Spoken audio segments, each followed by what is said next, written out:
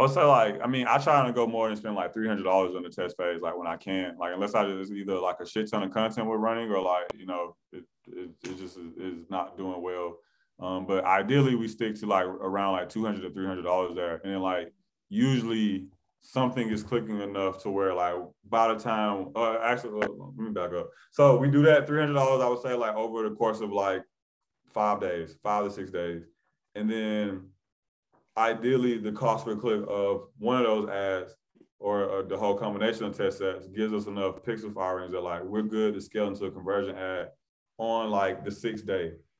And then, you know, the sixth day of the campaign, and we're scaling everything from that for the rest of the month, or uh, assuming it's working. If it's not working, and let's say in those video view ads, like the cost per click is so crazy that we weren't able to get those 50 conversions, then that's when I go through another retesting phase. So like let's say for example, if like we're running five test ads and they're all doing like a dollar cost per click, and it's like, okay, if I spend two hundred dollars on this set, I'm gonna get enough clicks to do a conversion ad. You know what I'm saying? That's not that bad. But they're doing like five dollars a click, you know what I'm saying? And it's like, all right, man, this shit, you know what I'm saying? This ain't, ain't, gonna, ain't gonna get me there, you know. So like now I'm looking at it and like looking at it and trying to figure out like, do I need to change stuff up or switch out? And like that's the biggest thing, man, is like as you get more comfortable doing it, and looking at the numbers, like you'll know like instinctually when you need to pivot. Like there are times where I don't even go through the whole testing phase. Like I can sometimes I, have ran ads before and like within two days I'm like, oh, that's the winning ad. And so like like you can just look, you can just look at it and tell. Like, you know what I'm saying? Like things start making sense. And then sometimes you'll like run shit and it'll be so bad. Like the first couple days was like, no, like I already see we need to stop these. You know what I'm saying? Like this shit is like I had ads there like that. I was talking to my marketing team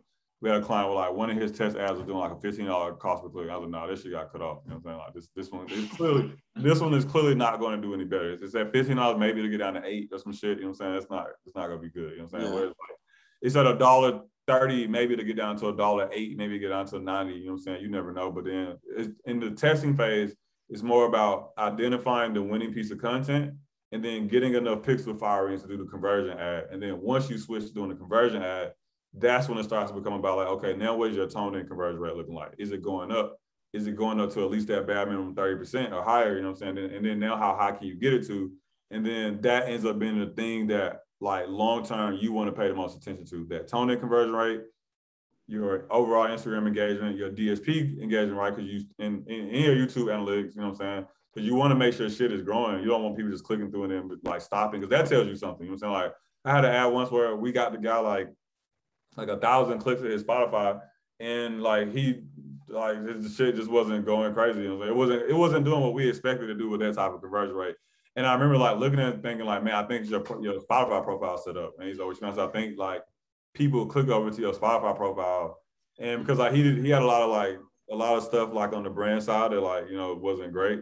And I was like, I think when people click through that see your profile and it literally turns them away. I'm like, that's literally that that's that has to be what it is because the ad cost is cheap the ToneDen conversion rate is high. Shit starts fucking up once they get to Spotify. Why is it fucking up? You know what I'm saying? But like all of yeah. that something right. But like so you're looking at the entire funnel to determine like overall success. Are people going all the way from point A to point Z? You know what I'm saying? Um, but yeah, but testing phase is about like identifying winning content.